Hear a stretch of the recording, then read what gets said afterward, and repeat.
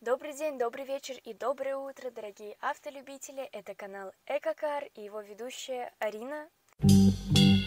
Сегодня мы съездили в горы и хотим поделиться этим видео с вами, а, потому что тут, наверное, много любителей ездить на природу, в нашем случае в горы, и мы вот покажем вам, как мы на нашем электромобиле добрались в горы и добрались ли вообще. Мы заполнили полный бак электричества и посмотрим, насколько нам его хватит.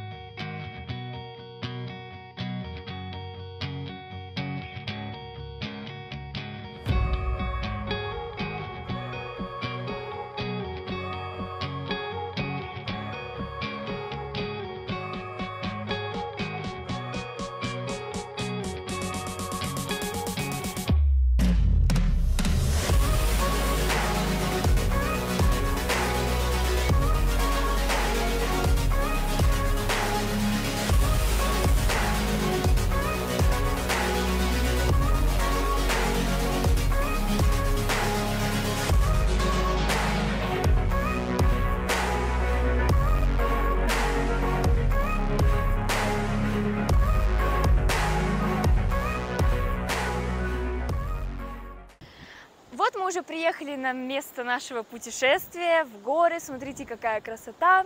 Мы ехали и по бездорожью, и по асфальтированной дороге, и вверх, и вниз.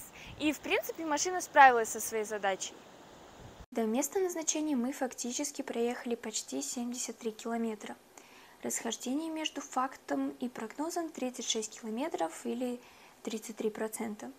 Бортовой компьютер при этом показал потребление в 19 киловатт на 100 километров.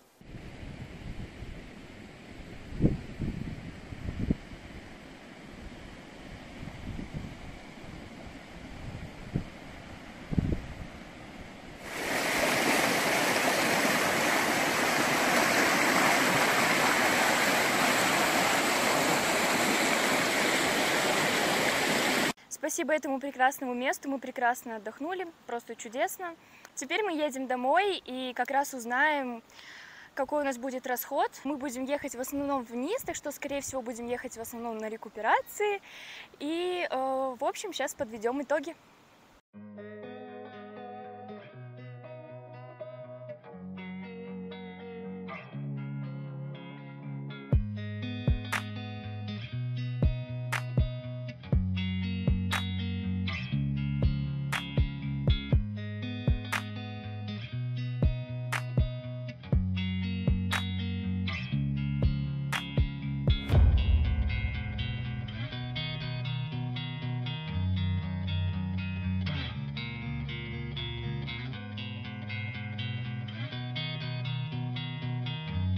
Вот мы уже добрались до дома.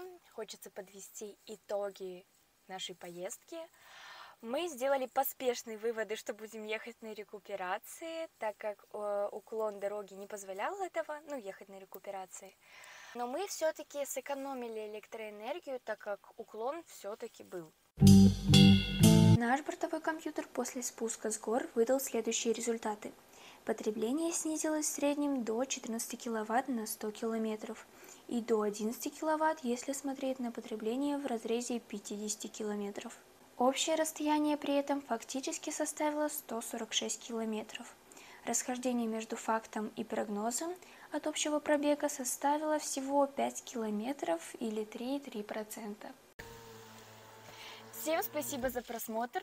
Ставьте лайки, подписывайтесь на канал, нажимайте на колокольчик. И я снова показала странный этот дурацкий колокольчик. Отправляйте это видео своим друзьям, знакомым, всем, кому можно. Поддерживайте нас максимально, потому что мы очень стараемся. И я вас люблю. До свидания.